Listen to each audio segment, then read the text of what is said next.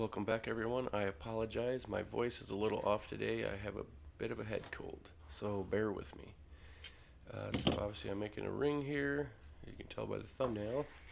Um, but the inner portion of the ring is a three quarter inch water pipe. And then I took the Dremel and rounded off the edge. And took off the burr from the cutting tool. And then I just took some 120 grit sandpaper just to give the outer edge a little bit of a tooth to help when we're gluing it up later. And just cleaning off the debris from sanding here.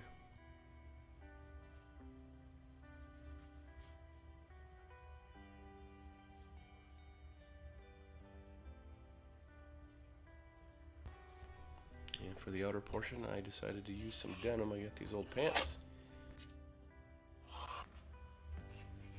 Thought I would try using that material.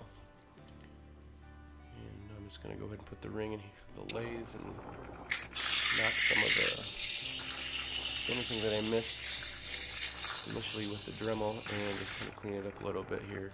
Obviously, not a, a lot of people have a, a lathe, but a lot of this stuff you can do by hand, or if you just had a power drill or even like a drill press. Maybe the only thing that I would recommend getting if you decide to do this is the arbor that the ring is sitting on right now.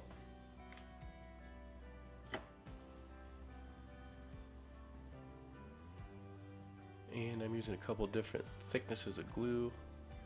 I use the medium weight, or whatever you want to call it, uh, to just initially set it. That way the glue's just not running everywhere. And then the activator to instantly harden the glue.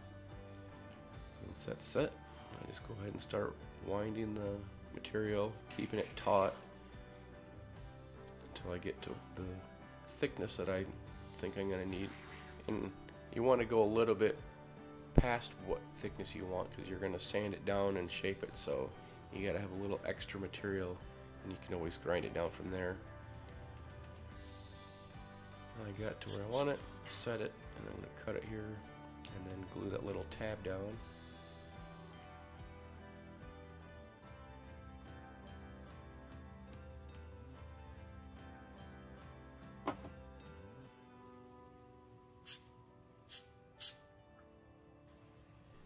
To take the thin uh, super glue here and I'm just completely saturating the material. You want it to get every inch of that uh, cloth soaked because it's you want it to basically become sort of like how fiberglass works. Is this going to be hard?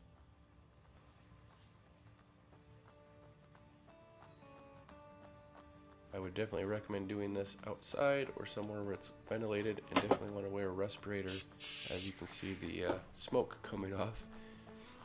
And now it is completely set and we're ready to turn it down.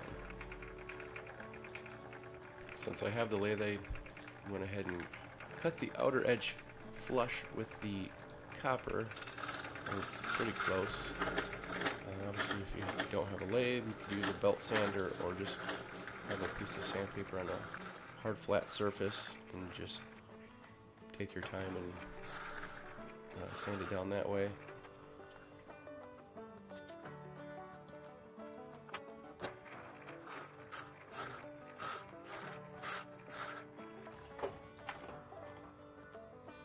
I should have taken the, the ring off at this point and sanded it down a little bit more, wet sanded it. The outer edge was a little bit proud and if you look in the pictures at the end, the outer edge isn't quite as shiny because they ended up sanding it after all the polishing and sanding here. But I'll know for next time. So I started with 120 grit. I worked up, I think the grits were like 120, 240, 320, 600, and 1000. And then finished it off with some polishing compound.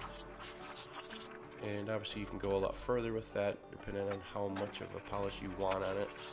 I was just kind of building it, making the ring to demonstrate the process, but you can take it as far as you want as far as the sanding goes.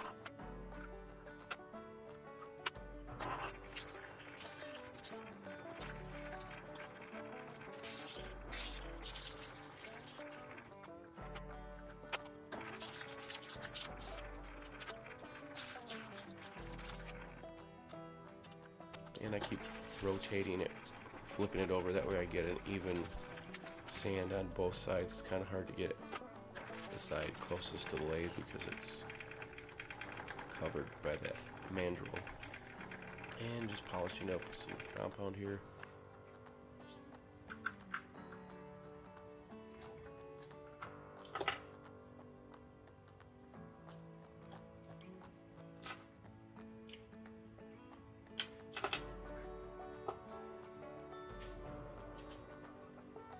Now I'm just going to wrap some masking tape around the outer edge just to protect it when I put it in the chuck here. And just doing a little bit of polishing compound on the inside to give it a little bit more shine. Take it out and wiping off the compound and this is what we ended up with. I think it turned out pretty cool. It's definitely uh, something I enjoy is just making things to see if you can do it. It's kind of the whole process, but hope you enjoyed it. Thanks for watching, guys.